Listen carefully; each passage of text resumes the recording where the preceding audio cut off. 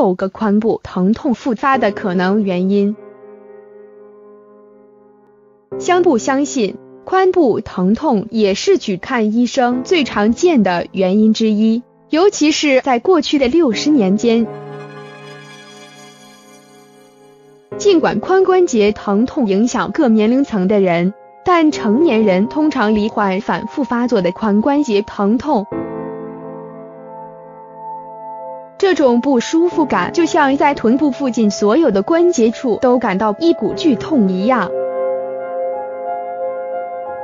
此外，它几乎总有一种沉重感，通常令你感到移动困难。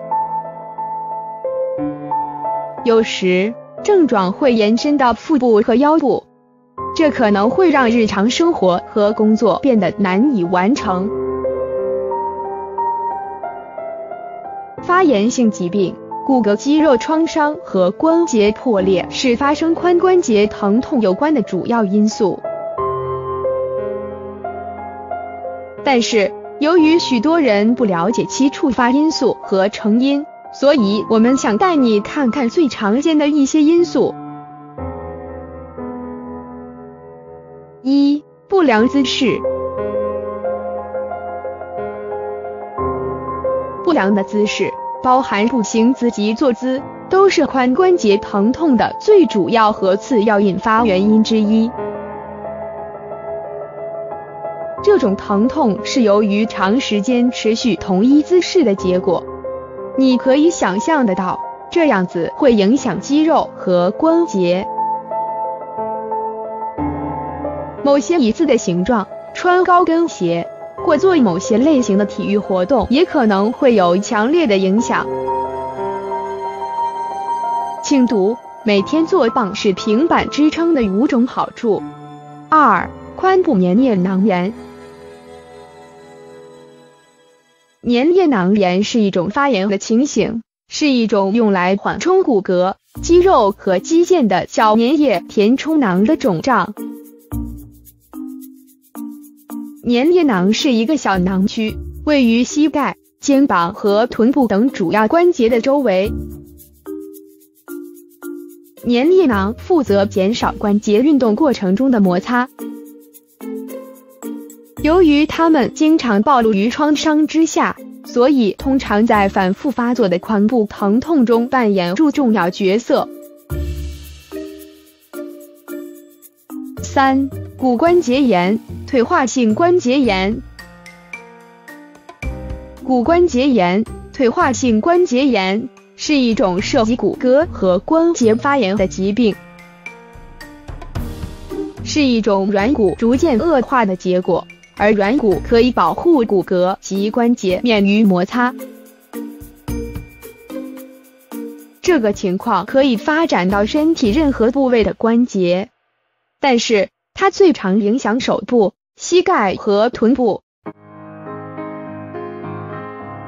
其症状是逐渐显现的，尽管它们可通过各种药物来控制，但没有绝对的治疗方法。当骨关节炎影响到髋关节时，它会发生在前关节和属膝部，这会触发强度不同的发炎症状和疼痛。四、髋部骨折。髋部骨折是需要立即就医的紧急医疗情况，因为这可能并发永久影响移动能力的并发症。极端情况下，还有可能威胁生命。髋部骨折的风险随着年龄增长而增加，这是因为骨骼系统逐渐失去骨密度，因人体渐渐难以吸收营养。即便如此，它也可能提早发生在年轻人身上。可能成因为慢性病的发展或某种类型的创伤导致。五、肌腱炎。肌腱炎是连接肌肉与骨骼的肌腱，其发炎的症状。它会发生于身体的任何肌腱位置上，然而它最常发生在肘部。膝盖和臀部。运动员通常受到最大的影响，以及那些工作时需要高度体力消耗的人。但是，它也可能是对创伤或疾病的反应。当肌腱炎发生于臀部区域时，称为髂肌肌腱炎。这种肌腱炎会让你在做某些运动的过程中突然引起不舒服和疼痛。查看这篇文章：肩部肌腱炎运动。六、坐骨神经痛。坐骨神经痛是由于坐骨神经刺激或其发炎所引起的。坐骨神经为身体中最大的神经，当它受伤时，会造成从腰部到臀部及腰部到后腿部的疼痛。坐骨神经痛不被认为是一种疾病，因为它往往是潜在医疗疾病的征兆。可能包括椎间盘突出、椎管狭窄或椎间盘退化性疾病。伴随臀部疼痛，坐骨神经痛也会引起下肢刺痛感。然而，休息、止痛药和一些伸展运动可以加速恢复。